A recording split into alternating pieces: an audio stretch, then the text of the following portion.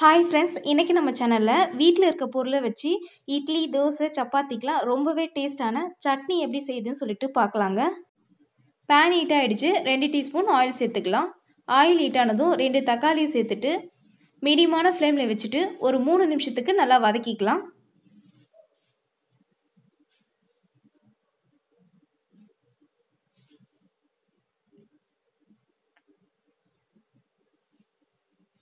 Ready ஆயிடுச்சுங்க எடுத்துடலாம். அரை டீஸ்பூன் சீரகம் சேர்த்துக்கலாம்.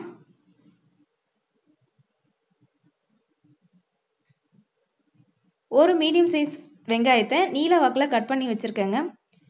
நீங்கள் இந்த வெங்காயத்துக்கு பதிலாக சின்ன வெங்காயம் யூஸ் பண்ணி கூட இந்த சட்னி செய்யலாம்.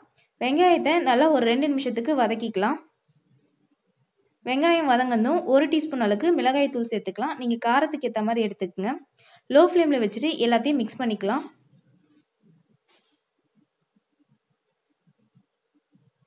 எல்லாத்தையும் மிக்ஸ் பண்ணியாச்சுங்க. இந்த ஸ்டேஜில் ஸ்டவ் ஆஃப் பண்ணிவிட்டு வேறு ஒரு பிளேட்டுக்கு மாற்றி ஆற வச்சிடலாம்.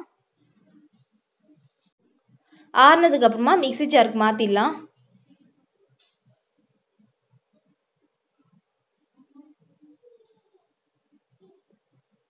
ஐம்பது கிராம் அளவுக்கு பொட்டுக்கடலை எடுத்திருக்கேங்க.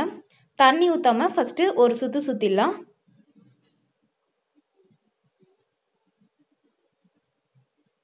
இது கூடவே கொஞ்சமாக தண்ணி சேர்த்து அரைச்சிக்கலாம்.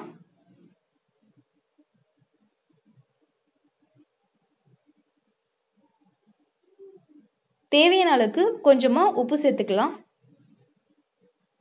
அரைச்சதை ஓப்பன் பண்ணி பார்த்துடலாங்க. இப்போ தாளிச்சிட்டு வந்துடலாம். தாளிக்கிறதுக்கு ஒரு டீஸ்பூன் ஆயில் சேர்த்துக்கலாம். ஒரு டீஸ்பூன் கடுகு. ஒரு டீஸ்பூன் கடலைப்பருப்பு. ஒரு டீஸ்பூன் உளுந்து கால் டீஸ்பூன் பெருங்காயத்தூள் கொஞ்சமாக கருவேப்பிலையிலே சேர்த்துலாங்க. ஸ்டவ்வை ஆஃப் பண்ணிடலாம். தாளித்ததை சட்னியில் சேர்த்துலாங்க.